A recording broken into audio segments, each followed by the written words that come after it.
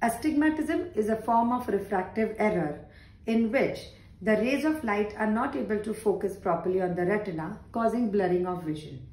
For most patients, the astigmatism or cylindrical power is due to the shape of the cornea being more steep, which is the transparent surface of the eye. In many patients, it is steep because of which the patients have a cylindrical power. If you're not sure whether your glass prescription has a cylindrical power or not, just take your glass and focus at an object and turn it around. If the image is becoming wobbly or contorted, that means that your glasses do have a cylindrical power. Astigmatism can be treated by use of glasses, by use of toric contact lenses and lastly by surgery such as LASIK.